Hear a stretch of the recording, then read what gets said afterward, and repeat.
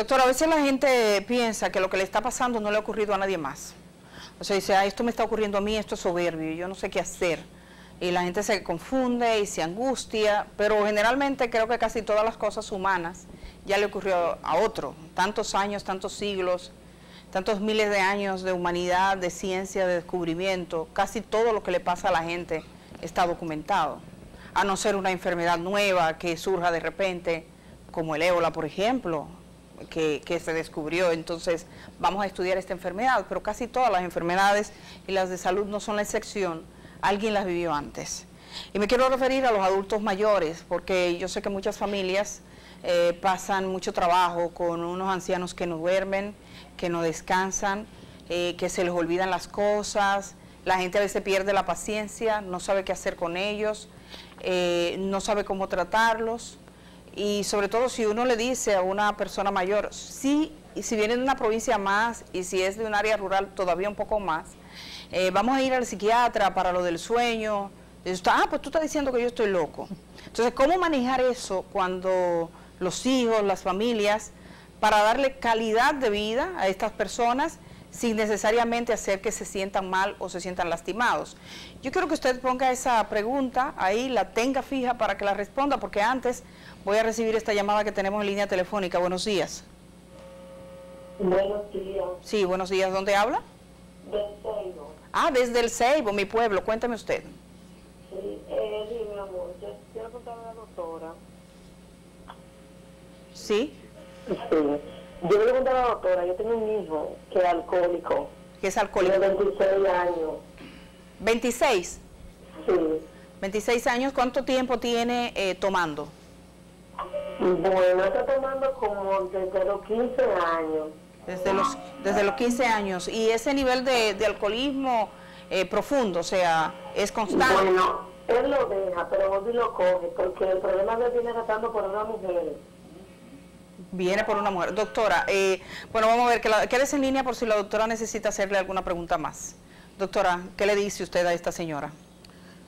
El alcoholismo es uno de los trastornos por consumo de sustancia legal, lamentablemente, en este caso en nuestro país, y es muy común y cada vez está en edades más tempranas. Ya estamos hablando de un paciente, en el caso de ella, que tiene 10 años con consumo eh, constante de alcohol, entonces ya es, todo su cuerpo está afectado, su hígado, sus riñones, su corazón, su circulación eh, y sobre todo su cerebro. Entonces, para tratar con este paciente hay que desintoxicarlo. Bueno, hay, eh, ellos usualmente tienen lo que se llama negación y es que el paciente alcohólico dice que él puede controlar la bebida, pero ¿qué es lo que nos da el diagnóstico? Es el comportamiento del paciente cuando ingiere, aunque sea un vaso, aunque sea una copa. Entonces hay un protocolo, el que más ha funcionado en este caso es el de los 12 pasos. Nos hacemos acompañar, aparte de la parte médica, de la eh, Asociación de Alcohólicos Anónimos, los cuales se van a encargar por una parte de darle el apoyo emocional, el seguimiento y el acompañamiento que este paciente necesita, mientras que nosotros en el consultorio entonces vemos toda la parte médica de este paciente, los aportes de vitamina que necesitan, porque un paciente con alcoholismo muchas veces pues eh, lo combina con otro tipo de sustancias y entra en una poliadicción. Pero el alcoholismo por sí solo hace que una persona pierda vida. ¿Y qué, vemos en el fondo de un alcohólico? Es muchas veces una gran depresión.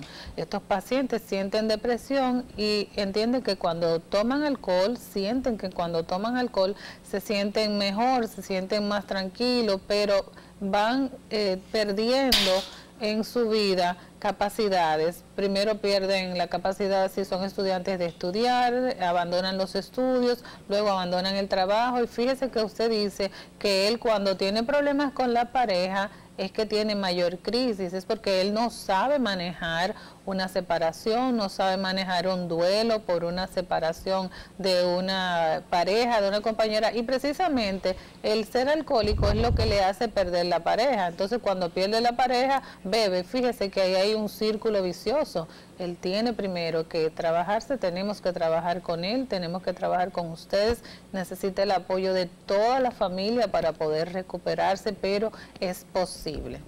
Eh, doctora, recupero la, la, pregunta sobre los ancianos, las personas mayores y la calidad de vida. Así es. Los, eh, el, el adulto mayor, el anciano, necesita tener un hábitat que es donde ellos conocen su casa, su entorno, su barrio. Eh, entonces muchas veces cuando este, este adulto ya se desaferenta, los hijos se van, hay muchos que viven eh, en otros países, que le mandan un dinerito, pero que de vez en cuando lo llaman, muchas veces queda el cuidado o de un servicio en la casa o de algún hijo o hija que le está teniendo en la casa materna o que se lo lleva a vivir a su casa pensando que eso es lo mejor y muchas veces no es lo más recomendable porque ahí pierde él eh, su, aferencia, pierde su marco, el marco que está en su cerebro, que ese mapa que tiene en su cerebro se pierde Fíjese que cuando los pacientes se ingresan en el hospital por cualquier causa, lo más común, una neumonía nosocomial, muchas veces estos pacientes en horario de la noche debutan con un trastorno psiquiátrico en donde se ponen agresivos, se quitan el suero, quieren salir, salen a caminar, agreden al servicio de enfermería y a los médicos y es porque a ellos les hace daño los, los cambios. Entonces tenemos que estar... Eh, ¿Eso solo ocurre en los ancianos, perdón, doctora?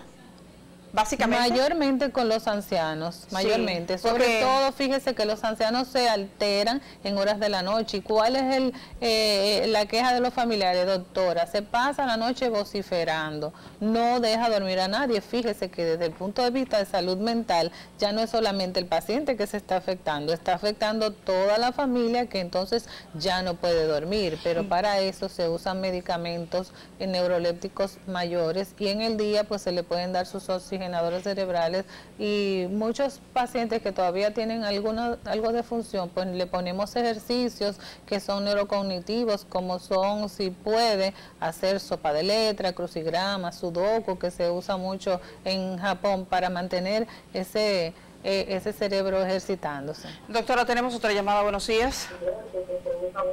Sí, buenos días. ¿De dónde habla? Su pregunta, por favor. Eh, eh, Vaya su televisión, su televisión si es posible, por favor. Soy de malo, de muy malo. ¿Usted? Yo no tomo alcohol. De mal, que no duerme bien.